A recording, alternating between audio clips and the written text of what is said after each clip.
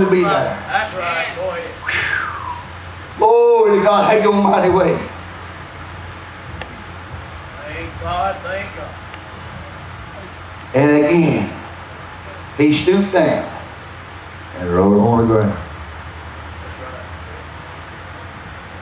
right. And they which heard it, become, being con- convicted by their own conscience. Went out one by one, being at least the elders, even unto the last. And Jesus was left alone, and the woman standing in the midst. When Jesus had, had lifted up himself and saw none but a woman, he said unto her, Woman, where are those thy accusers? Come on now. I have no man condemned thee. And he said, No man, Lord. And Jesus said unto her, Neither do I, do I condemn, condemn thee. Go and sin no more. That's right. Come on. Come on. Go and sin no more. He didn't condemn her. He didn't put her down. That's right. He said, Neither do Yeah. Go and sin no more. If that ain't something to clap your hands about, praise God about, I'm here to tell you there's something wrong with you. Your wood just a little bit wet. Praise God, I'm here to tell you, because God don't condemn you, He'll pick you up. Glory to God. God is not the author of confusion. Come on. What he said. He puts confusion out in the west side. Come on. That's right. I'm gonna tell you something. Get you some anointing oil. You got a problem at your house? Go through that anoint your doors. That's right. Anoint you, don't overdo your walls. That's right. Do your furniture. Somebody's in there got a liquor bottle in your house, go over and anoint it. It with oil. I guarantee you one thing, and you plead the blood of Jesus over that bottle, when they turn it up, they'll be sick. Told let me tell you why. God said, you ask and you shall receive. That's right. That's right. You have not because you ask not. That's right. Come on. We prayed for some some children. And I done told them they gonna be the miserable kids. They gonna be just like me. I was so miserable. I didn't want to live. I told my wife, you tell them to quit praying for me. I did not want to hear no more about me getting behind a pulpit and preaching God's word. But guess what?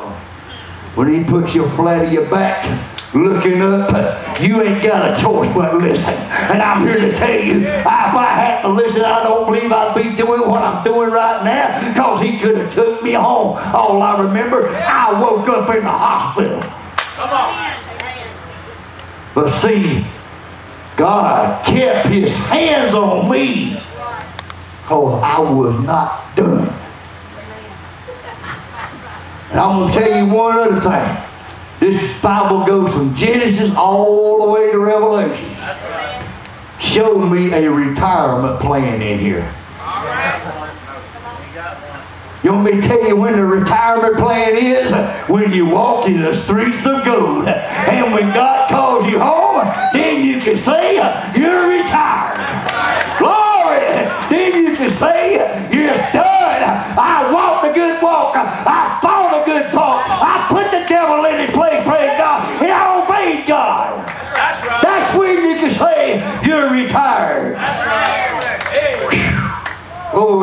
Glory to God. Your mighty way. Thank God. Thank God. That's when you can say it's done. That's right. That's right. Jesus was on the cross. He said, Father, forgive them, for they know what, what they do. Come on now. Even the old thief sitting there beside him. Said, remember me you get in thy kingdom. He said this day, this day, you will be with me in paradise. Whew. This day, he didn't have to go to a fancy church. He didn't have to go to a fancy place. He was hanging on a cross just like Jesus Christ did. And Jesus Christ forgave him and took him home with him. Glory, have your mighty way. Praise God. Took him home with him. To this day, you will be in paradise. Praise God, I'm here to tell you, He is real. Forgot where I'm.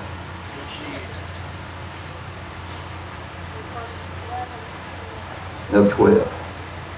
Then spoke Jesus again unto them, saying, I am the light of the world, and he that followeth me shall not walk in darkness, but shall have the light of life. Glory to God.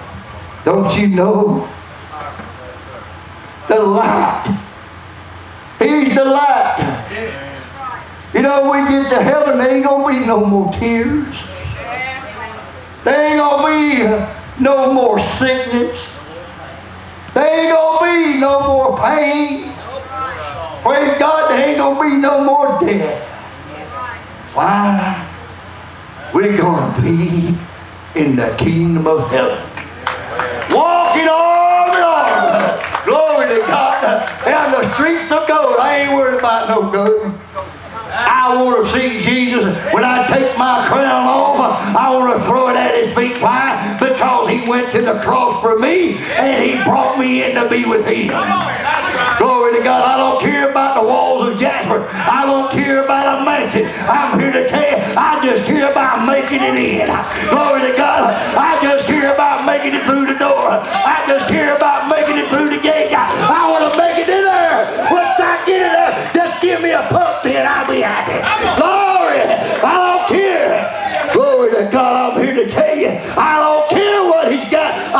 be there.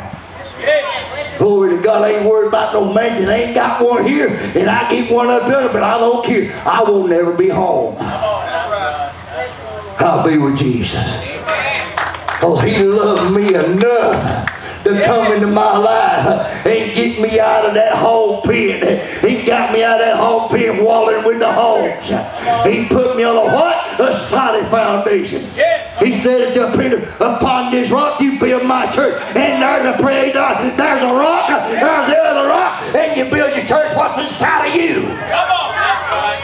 Gates of hell. Glory to God. Devil's mad and I'm glad. Oh, yes. Oh, yes. Devil's mad and I'm glad. Come on. That's right.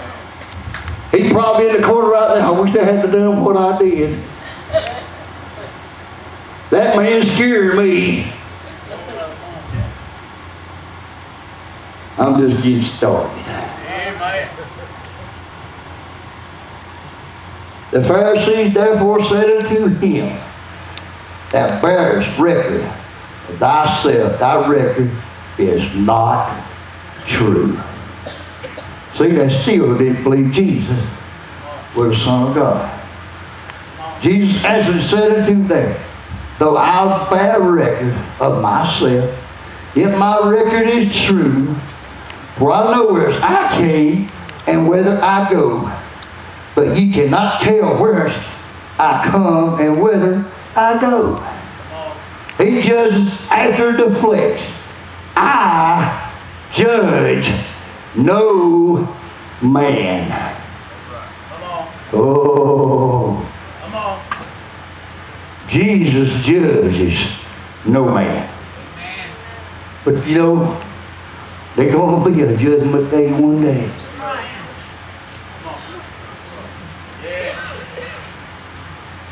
There's going to be a judgment day one day. And what I'm saying here today, it could be knocking at your door. Come on now. It could be knocking at your right door right now. But the way you get things going right is pray. Seek God. Ask God to help you. Help you get over these rough valleys. Get, take you out of the gutter and put you on top of the solid foundation, which is the mountain of Jesus Christ. Let you get on top of that mountain with the mountain of Jesus Christ. That's where you need to be, not down in the valley. We go through trials, we go through temptation, but I'm here to tell you one thing, praise God, they When you think things is going wrong, there ain't nothing going right. I can't do this by myself. That's the clue to call on Jesus. Glory. That's the clue to call on Jesus. Let Jesus come into your heart. Let Jesus take care of you. Praise God. Let Jesus wake you up. Let Jesus send you the straight right way. Let you how to work and how to do and how to talk to people. Why? Because we supposed to be setting an example. Every preacher that stands up behind a pulpit is going to be held accountable whether he hurts somebody's feelings, whether he puts somebody out that door. That preacher's going to be held accountable for what he says behind this pulpit. That's right. That's right blaspheming against the Holy Ghost, you will never get forgiveness from it. Never. Put you in that reprobate mind. God forgive you everything but blaspheming against the Holy Ghost. I don't care how many people you've shot. God forgive you. God forgive you. You still oh, always say, well, that person can't go to heaven because he shot this person. He's been in prison for 30 years. Yes, that person can. Right. Yes, he can. Right. Like I said earlier, I don't care about what y'all done. It ain't got nothing to do with right now. I don't care what happened. Everything that happens, happens for a reason. No matter what happened, God's in control. Whatever goes wrong and whatever goes right, God is still in control.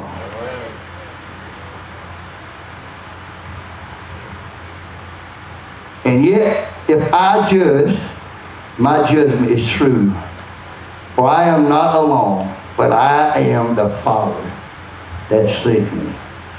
It is also written in your law that the testimony of two men is true. And I come to bear witness of myself and the Father that I sent that sent me bear witness of me. Then said unto him, Where is thy Father? And Jesus answered, Ye neither know me nor my Father. If you had known me, you should have known my Father also.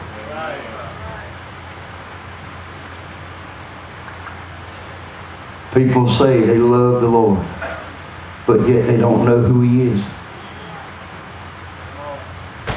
We got children nowadays that's killing children. Come on now. Shooting in places that our kids are supposed to be safe at. But they they shooting them. They shooting them because the devil is running out of time. He is about to run slam out of time. When his time is up, he got his place. And there ain't no way he gonna escape. But we got our place to Be with Jesus or be down yonder. Come on now. I'm going up yonder. Even the people in hell is going to see the people that he knew on this earth that told him about Jesus because it's going through and through